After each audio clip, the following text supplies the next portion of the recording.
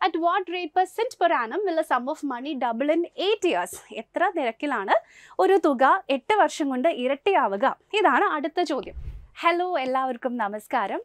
Entry degree level എക്സാംസിന്റെ പുതിയ YouTube വീഡിയോയിലേക്ക് എല്ലാവർക്കും സ്വാഗതം. അപ്പോൾ ഇന്നത്തെ വീഡിയോയിൽ നിങ്ങളിവിടെ കാണുന്നത് പോലെ തന്നെ നമ്മൾ ചില ഷോർട്ട് കട്ട്സ് ആണ് പഠിക്കാൻ പോകുന്നത്. സോ പൊതുവെ എല്ലാവർക്കും കുറച്ച് ടെൻഷനുള്ള അല്ലെങ്കിൽ കുറച്ച് കൺഫ്യൂഷൻ ഉള്ള ഒരു ടോപ്പിക്കാണ് സിമ്പിൾ ഇൻട്രസ്റ്റ് എന്ന് പറയുന്നത് അല്ലേ? അപ്പോൾ ഈ ടോപ്പിക്കിൽ വളരെ എളുപ്പത്തിൽ നമുക്ക് ക്വസ്റ്റ്യൻസ് എങ്ങനെ സോൾവ് ചെയ്യാം എന്നൊക്കെ നമ്മൾ പഠിക്കുന്ന ചില ഷോർട്ട് കട്ട്സ് ആണ് നമ്മൾ ഇവിടെ ഡിസ്കസ് ചെയ്യാനായിട്ട് പോകുന്നത്. അപ്പോൾ എല്ലാവർക്കും നമ്മുടെ ഇന്നത്തെ വീഡിയോയിലേക്ക് ഒരിക്കൽ കൂടി സ്വാഗതം. നമ്മൾ പ്രധാനമായിട്ടും ഇന്ന് പഠിക്കാൻ പോകുന്നത് രണ്ട് ടൈപ്സ് ക്വസ്റ്റ്യൻസ് ആണ്. ഓക്കെ അപ്പോൾ നമ്മുടെ ഷോർട്ട് കട്ട്സിലേക്ക് പോകുന്നതിന് മുമ്പ് നിങ്ങൾക്ക് ഈ ഒരു ടോപ്പിക്കിന്റെ കോൺസെപ്റ്റ് അറിയില്ല എന്നുണ്ടെങ്കിൽ ഷോർട്ട് കട്ട്സ് പറയുമ്പോൾ അത്യാവശ്യം ചിലപ്പം നല്ല കൺഫ്യൂഷൻ വരും. അപ്പം ഞാൻ ജസ്റ്റ് ചെറുതായിട്ട് ഈ ഒരു ടോപ്പിക്കിന്റെ കോൺസെപ്റ്റ് നിങ്ങൾക്ക് പറഞ്ഞു തരാം. നിങ്ങൾ ഓൾറെഡി കോൺസെപ്റ്റ് അറിയുന്ന ആൾക്കാരാണെന്നുണ്ടെങ്കിൽ ഈ പോർഷൻ നിങ്ങൾക്ക് ഫുള്ളായിട്ട് സ്കിപ്പ് ചെയ്യാം കേട്ടോ അറിയുന്നവർ പിന്നെയും കാണേണ്ട ആവശ്യമില്ലല്ലോ. സോ ഞാൻ ജസ്റ്റ് കോൺസെപ്റ്റ് പറഞ്ഞു തരാം. നമ്മൾ സിമ്പിൾ ഇൻട്രസ്റ്റിന് നമ്മൾ സാധാരണ പലിശ എന്ന് മലയാളത്തിൽ പറയാം അല്ലേ? നമ്മളിപ്പോൾ ഒരു ബാങ്കിൽ പോയിട്ട് കുറച്ച് തുക നിക്ഷേപിക്കുകയോ അല്ലെങ്കിൽ ലോണായിട്ട് നമ്മൾ കടം എടുക്കുകയോ ചെയ്തിട്ടുണ്ടെങ്കിൽ അത് തിരിച്ച് അടയ്ക്കുമ്പോഴോ തിരിച്ച് കിട്ടുമ്പോഴോ നമുക്ക് കൂടുതൽ കിട്ടുന്ന ആ പലിശേനെയാണ് നമ്മൾ സാധാരണ സിമ്പിൾ ഇൻട്രസ്റ്റ് എന്ന് പറയുന്നത് അല്ലേ? അപ്പോൾ സിമ്പിൾ ഇൻട്രസ്റ്റിൽ നമ്മൾ പലപ്പോഴും കേൾക്കാറുള്ള ചില ടേമുകളാണ് എത്ര കാലാവധിയിലേക്കാണ് നമ്മൾ ഈ ഒരു പലിശ കടം വാങ്ങുന്നത് അല്ലെങ്കിൽ കടം കൊടുക്കുന്നത്? ഇനി നെക്സ്റ്റ് വരുന്നത് എത്ര റേറ്റിലാണ് അതായത് എത്ര നിരക്കിലാണ് നമ്മൾ കടം എടുക്കുന്നത് കടം കൊടുക്കുന്നത് ഒക്കെ നിങ്ങൾ കേട്ടിട്ടുണ്ടാവും. അപ്പോൾ ഇത്രയും കാര്യങ്ങൾ നമുക്ക് അറിയാമെങ്കിൽ നമുക്ക് വളരെ സിമ്പിളായിട്ട് സിമ്പിൾ ഇൻട്രസ്റ്റ് കണക്ക് കൂട്ടാം.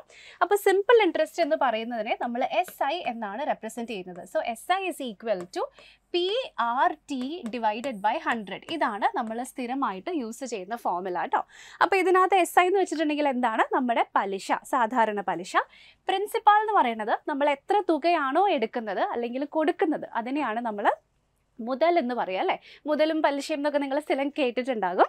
സോ അതിനെയാണ് നമ്മൾ ഇവിടെ പി എന്ന് പറയുന്നത്. ഇനി നെക്സ്റ്റ് നമ്മുടെ റേറ്റ് അല്ലെങ്കിൽ നിരക്കാണ് എത്ര ശതമാനത്തിലാണ് നമ്മൾ കടം വാങ്ങുന്നത് കൊടുക്കുന്നത്. ഇനി വീണ്ടും എത്ര കാലാവധിയിലേക്കാണ് നമ്മൾ വാങ്ങിക്കുന്നതും കൊടുക്കുന്നതും. ഇതാണ് നമ്മൾ ടി എന്നതുകൊണ്ട് ഉദ്ദേശിക്കുന്നത്. ഓക്കെ അപ്പോൾ ഇവിടെ നിങ്ങൾ ശ്രദ്ധിക്കേണ്ട ഒരു കാര്യം ഇവിടെ റേറ്റ് എന്ന് പറയുന്നത് എപ്പോഴും ശതമാനമായിരിക്കും.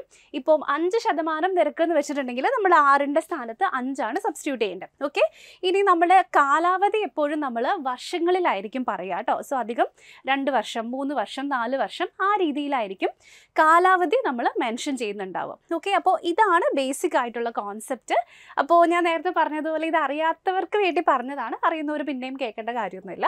ഇനി നമ്മൾ നമ്മുടെ ചോദ്യങ്ങളിലേക്ക് പോവാണ്. സോ നമ്മളിവിടെ രണ്ട് ടൈപ്പ് ചോദ്യങ്ങളാണ് പ്രധാനമായിട്ടും സോൾവ് ചെയ്യുന്നത്. രണ്ട് ടൈപ്പ് ക്വസ്റ്റ്യൻസ് എങ്ങനെയാണ് പെട്ടെന്ന് സോൾവ് ചെയ്യാന്നാണ് നമ്മൾ നോക്കുന്നത് കേട്ടോ അപ്പോൾ അതിനുവേണ്ടി ഞാൻ എന്താ നമ്മുടെ ഒന്നാമത്തെ ചോദ്യം ഇവിടെ എടുത്തിട്ടുണ്ട്. നിങ്ങൾക്കിപ്പോൾ കാണാൻ പറ്റുന്നുണ്ടാകും. The rate at, at which a sum becomes four times of itself in 15 years. Simple interest will be dash. അതായത് ഏത് നിരക്കിൽ പൈസ കടം കൊടുത്താലോ അല്ലെങ്കിൽ കടം വാങ്ങിയാലോ ആണ് ഈ ഒരു തുക പതിനഞ്ച് വർഷം കൊണ്ട് അതിന്റെ തന്നെ നാലിരട്ടി ആവുന്നതും. എന്ന് വെച്ചാൽ ഇപ്പം നിങ്ങൾ ഇവിടെ ഒരു ആയിരം രൂപയാണ് കടം കൊടുക്കുന്നതെങ്കിൽ ഈ ഒരു നിരക്കിൽ പതിനഞ്ച് വർഷത്തിന് ശേഷം അത് നാലായിരം രൂപയാകും. ഓക്കെ? അപ്പോൾ ഈ ക്വസ്റ്റ്യൻ നമ്മൾ ഷോർട്ട് കട്ട് ഇല്ലാതെ നോർമലി എങ്ങനെയാണ് ചെയ്യാമെന്ന് ഞാൻ ആദ്യം ജസ്റ്റ് ഒന്ന് കാണിച്ചു തരാം. വീണ്ടും പറയുന്നു ഇത് നോർമലി ചെയ്യാൻ അറിയുന്നവർ ഈ പോർഷൻ കാണേണ്ട കാര്യമില്ല സ്കിപ്പ് ചെയ്യാം. നേരെ നമുക്ക് ഷോർട്ട് കട്ടിലേക്ക് പോകാം. പക്ഷേ ഇതിന്റെ കോൺസെപ്റ്റിൽ നമ്മൾ ചെയ്ത് കാണിക്കാതെ ഷോർട്ട് കട്ട് പറഞ്ഞാൽ ചിലപ്പോൾ നിങ്ങൾക്ക് കൺഫ്യൂഷൻ വരാൻ സാധ്യതയുണ്ട്. അതുകൊണ്ടാണ് ചെയ്യുന്നത്. സ്കിപ്പ് ചെയ്യേണ്ടവർക്ക് പൂർണമായിട്ടും സ്കിപ്പ് ചെയ്യാം. കുഴപ്പമില്ല കേട്ടോ. അപ്പോൾ നമ്മളോട് ഇവിടെ പറഞ്ഞിരിക്കുന്നത് sum becomes four times of itself എന്നാണ്. എന്ന് വെച്ചാൽ നമുക്ക് അവസാനം കിട്ടുന്ന എമൗണ്ട് എന്ന് പറയുന്നത് ആദ്യം നമ്മൾ എത്ര പ്രിൻസിപ്പാൾ കൊടുക്കുന്നുണ്ടോ അതിന്റെ ഫോർ ടൈംസ് ആകുന്നു. ഇതാണ് നമുക്ക് മനസ്സിലാക്കേണ്ടത് അല്ലേ? അപ്പോൾ നമ്മൾ കൊടുക്കുന്ന തുകയുടെ നാലിരട്ടി സോ ഇവിടെ പ്രിൻസിപ്പാൾ എന്ന് പറയുന്ന ആദ്യത്തെ മുതൽ അല്ലെങ്കിൽ തുകയും ഈ എമൗണ്ട് എന്ന് പറയുന്നത് മൊത്തം വരുന്ന ആകെ തുകയുമാണ്.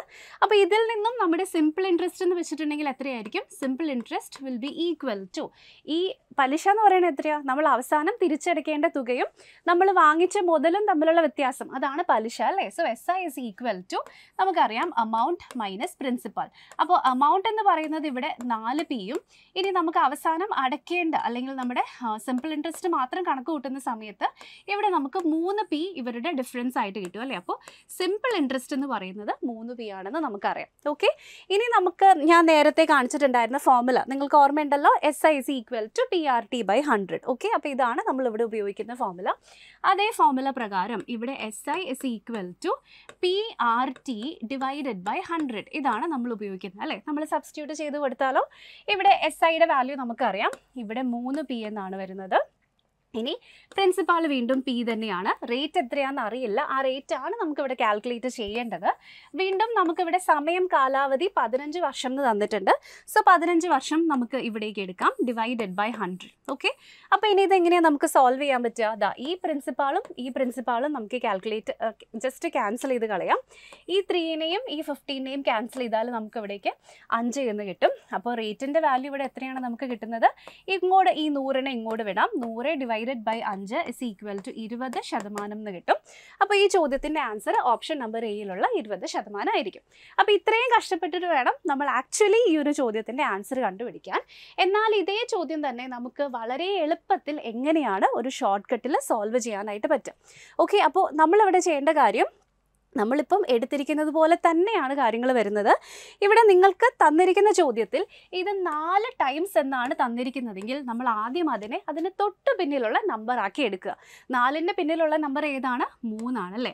ഡിവൈഡഡ് ബൈ എത്ര വർഷത്തേക്കാണ് ഇവിടെ തന്നിരിക്കുന്നത്? പതിനഞ്ച് വർഷം. ഇന്റു ഒരു ഹൺഡ്രഡ് ചെയ്ത് കഴിഞ്ഞാൽ ഒറ്റയടിക്ക് നമ്മുടെ ചോദ്യത്തിന്റെ ആൻസർ കിട്ടും. ഓക്കെ അപ്പോൾ ഇതിനെയും ഇതിനെയും ക്യാൻസൽ ചെയ്താൽ അഞ്ച് കിട്ടും. വീണ്ടും അഞ്ച് കൊണ്ട് നൂറിനെ ക്യാൻസൽ ചെയ്താൽ ഇരുപത് എന്ന് കിട്ടും. സോ ഒറ്റയടിക്ക് ഈ ചോദ്യത്തിന്റെ ആൻസർ ഓപ്ഷൻ നമ്പർ എയിലുള്ള ഇരുപത് ശതമാനമാണ് എന്ന് നമുക്കിവിടെ മനസ്സിലാക്കാം. ഓക്കെ അപ്പോൾ ഇങ്ങനെയാണ് നമ്മൾ ഇതുപോലെയുള്ള ചോദ്യങ്ങൾ പെട്ടെന്ന് സോൾവ് ചെയ്ത് നമ്മുടെ ആൻസറിലേക്ക് നമുക്ക് എത്താനായിട്ട് പറ്റുന്നത്. ഓക്കെ അപ്പോൾ ഇനി ഇത് ഒറ്റ ഒരു എക്സാമ്പിൾ ആയിട്ടുള്ളൂ. ചിലപ്പോൾ കൺഫ്യൂഷൻ ഉണ്ടാവും. അതുകൊണ്ട് ഇനി നമുക്ക് ഒന്ന് രണ്ട് എക്സാമ്പിൾസ് കൂടെ നോക്കാം. അപ്പോൾ ഇതാണ് അടുത്ത എക്സാമ്പിൾ ചോദ്യം. At what rate percent on simple interest will a sum of money double itself in thirty years അപ്പോൾ മുപ്പത് വർഷം കൊണ്ട് ഒരു തുക അതിന്റെ ഇരട്ടിയാകണമെങ്കിൽ അതിൽ കൊടുക്കേണ്ട പലിശ നിരക്ക് എത്രയാണ്? ഇതാണ് നമ്മുടെ അടുത്ത ചോദ്യം അല്ലേ? അപ്പോൾ നേരത്തെ നമ്മൾ ചെയ്തതുപോലെ അത്രയും നീട്ടി ചെയ്യേണ്ട കാര്യമില്ല. ഷോർട്ട് കട്ട് മാത്രം ജസ്റ്റ് നമുക്കൊന്ന് ചെയ്ത് നോക്കാം. അപ്പോൾ ഇവിടെ തന്നിരിക്കുന്നു it will become double of itself double എന്ന് വെച്ചാൽ ഇരട്ടി അല്ലേ? നമ്മൾ ബേസിക്കലി ടു ടൈംസ് ആണ് ഉദ്ദേശിക്കുന്നത്. ടുവിന്റെ തൊട്ട് പിന്നിലുള്ള നമ്പർ ഏതാണ്? വൺ ആണ്. ഡിവൈഡഡ് ബൈ എത്ര വർഷം എന്ന് പറഞ്ഞിട്ടുണ്ട് ഇവിടെ? മുപ്പത് വർഷം. ഇനി ഇൻ ടു ഹൺഡ്രഡ് ചെയ്തിട്ടുണ്ടെങ്കിൽ നമ്മുടെ ആൻസർ കിട്ടും. രണ്ടും ക്യാൻസൽ ചെയ്തിട്ടുണ്ടെങ്കിൽ പത്തിനെ മൂന്ന് കൊണ്ട് ഹരിച്ചിട്ടുണ്ടെങ്കിൽ ആൻസർ എത്രയാണ്? ത്രീ വൺ ബൈ ത്രീ ആണ് കിട്ടുന്നത്. സോ മൂന്ന് വൺ ബൈ ത്രീ എന്ന് പറയുന്ന ആൻസർ ഓപ്ഷൻ നമ്പർ എയിലുണ്ട് ഇതാണ് ഈ ചോദ്യത്തിന്റെ ശരിയുത്തരമായിട്ട് നമുക്ക് ഇവിടേക്ക് കിട്ടും. ഓക്കെ അപ്പോൾ വളരെ സിമ്പിളായിട്ട് ഈ ക്വസ്റ്റ്യനും നമ്മൾ സോൾവ് ചെയ്തു. ഇനി വീണ്ടും അതുപോലെ തന്നെ വന്നിരിക്കുന്ന മറ്റൊരു ക്വസ്റ്റ്യൻ ആണ് കേട്ടോ at what rate percent per annum will a sum of money double in eight years എത്ര നിരക്കിലാണ് ഒരു തുക എട്ട് വർഷം കൊണ്ട് ഇരട്ടിയാവുക? ഇതാണ് അടുത്ത ചോദ്യം. അതേപോലെ തന്നെ നമുക്ക് ഈ ക്വസ്റ്റ്യനും സോൾവ് ചെയ്യാം.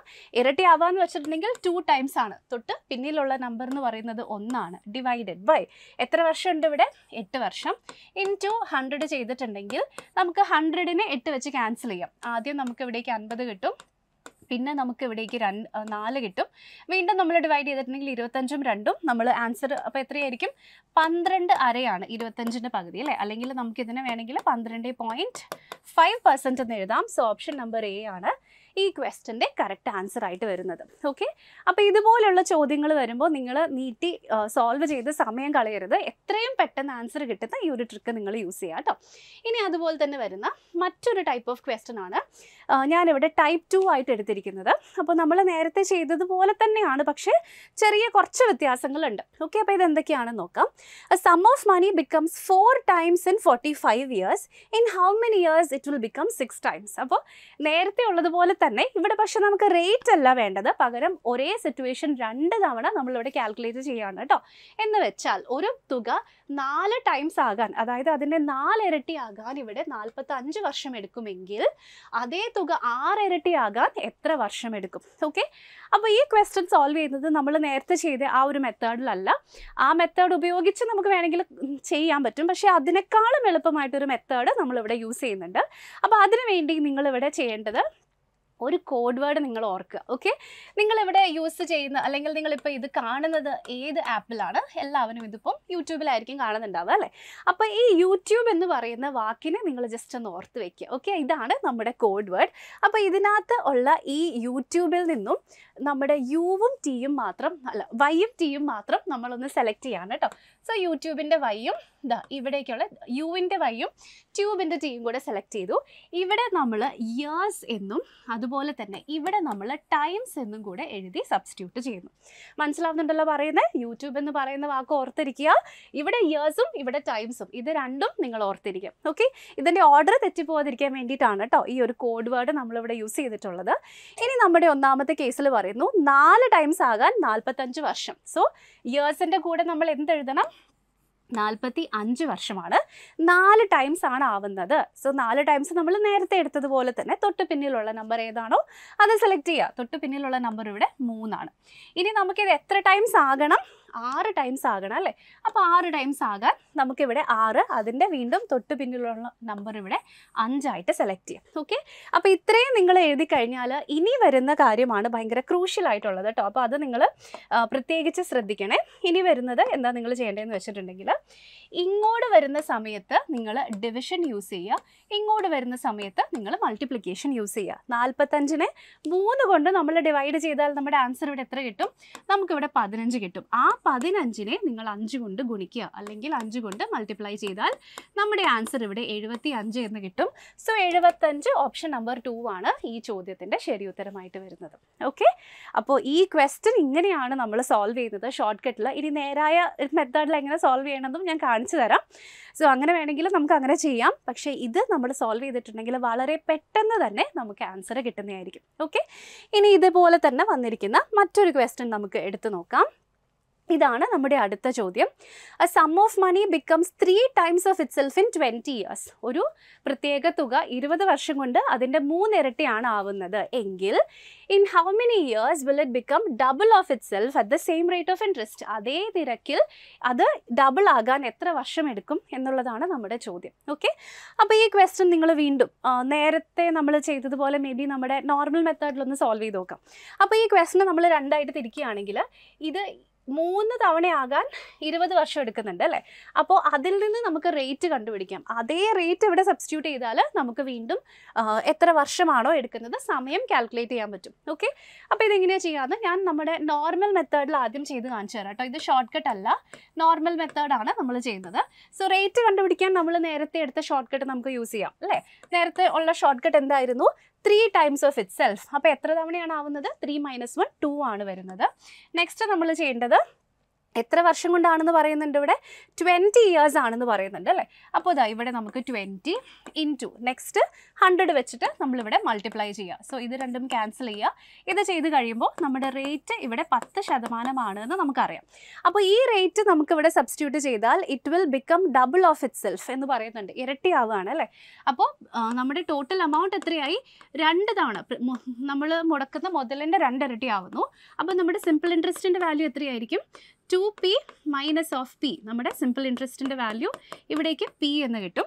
അതും റേറ്റും സബ്സ്റ്റിറ്റ്യൂട്ട് ചെയ്താൽ നമുക്കിവിടെ വർഷം എത്രയാണെന്ന് കണ്ടുപിടിക്കാൻ പറ്റും. ഓക്കെ ഇത് നമ്മുടെ നോർമൽ മെത്തേഡ് ആണ് കേട്ടോ ഇത് ഷോർട്ട് കട്ട് അല്ല ആരും തെറ്റിദ്ധരിക്കല്ലേ?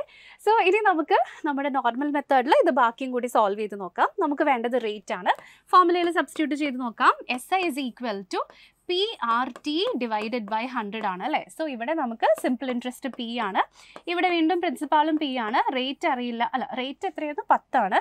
അപ്പോൾ റേറ്റിന് നമുക്കിവിടെ പത്ത് എന്ന് സബ്സ്റ്റിറ്റ്യൂട്ട് ചെയ്യാം. ടൈമിന് നമുക്ക് അറിയില്ല. ഡിവൈഡഡ് ബൈ ഹൺഡ്രഡ് ചെയ്യാം. സോ ഈ പി ക്യാൻസൽ ഇത് ക്യാൻസൽ ഈ പത്തും ഈ പത്തും ക്യാൻസൽ അപ്പോൾ അല്ല ഇവിടെ നമുക്ക് ഡിവൈഡഡ് ബൈ ഹൺഡ്രഡിൽ ഒരു പൂജ്യം ബാക്കി വരും അല്ലേ? So time is equal to ten എന്ന് കിട്ടും. സോ ടെൻ ഇയേഴ്സ് ആണ് ആൻസർ ആയിട്ട് വരുന്നത്. സോ ഇത് നമ്മുടെ ആദ്യത്തെ ഷോർട്ട് കട്ട് പകുതി യൂസ് ചെയ്തു. ബാക്കി നോർമൽ മെത്തേഡ് യൂസ് ചെയ്തപ്പം കിട്ടിയ ആൻസർ ആണ് കേട്ടോ അപ്പോൾ ഇതേ ഷോർട്ട് കട്ടിൽ അല്ല ഇതേ ക്വസ്റ്റ്യൻ തന്നെ നമ്മൾ ഇപ്പം എടുത്തിട്ടുണ്ടായിരുന്ന ആ യൂട്യൂബ് എന്ന് പറയുന്ന ഷോർട്ട് കട്ടിൽ യൂസ് ചെയ്താൽ എങ്ങനെയാണ് നമുക്ക് സോൾവ് ചെയ്യാൻ പറ്റുക? അതേ രീതിയിലൊന്ന് ചെയ്തു നോക്കിയാലോ?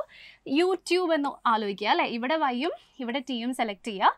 അപ്പോൾ വൈ ആയതുകൊണ്ട് ഇവിടെ നമ്മൾ ഇയേഴ്സ് എന്ന് എഴുതുക. ഇവിടെ ടി ആയതുകൊണ്ട് നമ്മളിവിടെ ടൈംസ് എന്ന് എഴുതുക. ഓക്കെ അപ്പോൾ ഇവിടെ ആദ്യത്തെ കേസിൽ എത്ര വർഷം എന്നാണ് പറഞ്ഞിരിക്കുന്നത്? ഇരുപത് വർഷം. It becomes three times three minus one ഇവിടേക്ക് നമുക്ക് ടു ആണ് വരുന്നത്. ഇനി it becomes double of itself double എന്ന് വെച്ചാൽ ടു ടൈംസ് മൈനസ് വൺ വീണ്ടും വൺ വരുന്നു. ഇങ്ങോട്ട് നമ്മൾ ചെയ്യുമ്പോൾ നമ്മൾ യൂസ് ചെയ്യേണ്ടത് ഡിവിഷൻ ഇരുപതിനെ രണ്ട് കൊണ്ട് ഡിവൈഡ് ചെയ്താൽ നമുക്കിവിടെ പത്ത് കിട്ടും. ആ കിട്ടുന്ന പത്തിനെ ഒന്നും കൊണ്ട് മൾട്ടിപ്ലൈ ചെയ്താൽ നമ്മുടെ ആൻസർ ഇവിടെ പത്ത് എന്ന് തന്നെ കിട്ടും.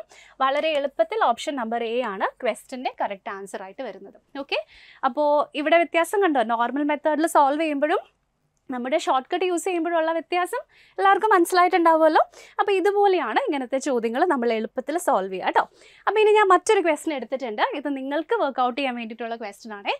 Sum of money becomes becomes of times of itself in 15 years, then in how many years it will become times of itself at the same rate of interest അപ്പോൾ നമ്മൾ ഈ ഷോർട്ട് കട്ടൊക്കെ പഠിച്ചു രണ്ടെണ്ണം പഠിച്ചു രണ്ടെണ്ണം അപ്ലൈ ചെയ്തിട്ട് നമുക്ക് സോൾവ് ചെയ്യാം. നമ്മൾ ലാസ്റ്റ് പഠിച്ചത് വെച്ചിട്ട് സോൾവ് ചെയ്യുകയാണെങ്കിൽ കുറച്ചും കൂടി എളുപ്പത്തിൽ ആൻസർ കിട്ടും. ഓക്കെ അപ്പോൾ എല്ലാവരും ഈ ക്വസ്റ്റൻ ഒന്ന് ഹോംവർക്ക് ആയിട്ട് ട്രൈ ചെയ്ത് നോക്കണം. എന്നിട്ട് നിങ്ങൾക്ക് ഈ ക്വസ്റ്റന്റെ ആൻസർ കിട്ടുന്നത് എന്താണോ. തെറ്റായിക്കോട്ടെ ശരിയായിക്കോട്ടെ കുഴപ്പമില്ല. നമ്മുടെ കോമൻസിൽ ഒന്ന് പോസ്റ്റ് ചെയ്യണം. ഓക്കെ അപ്പോൾ മറക്കാതെ ഈ ക്വസ്റ്റ്യൻ ഒന്ന് വർക്കൗട്ട് എങ്കിലാണ് നിങ്ങൾക്കിത് മനസ്സിലായോ എന്ന് എനിക്ക് അറിയാൻ പറ്റുള്ളൂ. ഓക്കെ അപ്പോൾ നമ്മുടെ ഇന്നത്തെ വീഡിയോയിൽ നമ്മൾ ഇത്രയും കാര്യങ്ങളാണ് ഡിസ്കസ് ചെയ്തത്. നമ്മൾ പറഞ്ഞതൊക്കെ എല്ലാവർക്കും ക്ലിയർ ആയിട്ടുണ്ടാവും എന്ന് കരുതുന്നു. നമ്മുടെ കോഴ്സസിനെ പറ്റിയിട്ടോ അല്ലെങ്കിൽ എക്സാംസിനെ പറ്റിയിട്ടോ എന്തെങ്കിലും ഡൗട്ട് ഉണ്ടെങ്കിൽ ഈ വീഡിയോയുടെ ഡിസ്ക്രിപ്ഷനിൽ നമ്മളൊരു ഗൂഗിൾ ഫോം അറ്റാച്ച് ചെയ്തിട്ടുണ്ട്. അതിലൂടെ എഴുതി ചോദിച്ചാൽ നമ്മുടെ അക്കാഡമിക് കൗൺസിലർ നിങ്ങളെ അങ്ങോട്ട് കോൺടാക്റ്റ് ചെയ്യുന്നതായിരിക്കും. ഓക്കെ അപ്പോൾ നിങ്ങൾക്ക് വീഡിയോ ഇഷ്ടപ്പെട്ടെങ്കിൽ തീർച്ചയായിട്ടും ലൈക്ക് ചെയ്യുക. നമ്മുടെ ചാനലിൽ നിന്ന് വരുന്ന വീഡിയോസൊക്കെ ഉടനടി നിങ്ങൾക്ക് റിസീവ് ആകാൻ വേണ്ടിയിട്ട് തീർച്ചയായിട്ടും സബ്സ്ക്രൈബ് ചെയ്യുക. നിങ്ങളെപ്പോലെ പ്രിപ്പയർ ചെയ്യുന്നവരുണ്ടെങ്കിൽ അവരിലേക്കും കൂടി ഇത്തരം വീഡിയോസ് എത്തിക്കും. ഓക്കെ അതോടൊപ്പം തന്നെ വീഡിയോസിനെ പറ്റിയിട്ടുള്ള അഭിപ്രായങ്ങളും എഴുതി അറിയിക്കാം നിങ്ങൾക്ക് ഇനിയും ഏത് തരത്തിലുള്ള വീഡിയോകളാണ് നമ്മുടെ ചാനലിലൂടെ കാണാൻ താല്പര്യം എന്ന് നിങ്ങൾക്ക് ഞങ്ങളെ തീർച്ചയായിട്ടും കോമൻസിലൂടെ അറിയിക്കാം. ഓക്കെ അപ്പോൾ ഇത്രയും കാര്യങ്ങളാണ് നമ്മുടെ ഇന്നത്തെ വീഡിയോയിൽ ഡിസ്കസ് ചെയ്തത്. So thank so much for watching പുതിയൊരു വീഡിയോയുമായി നമുക്കിനി അടുത്ത തവണ വീണ്ടും കാണാം.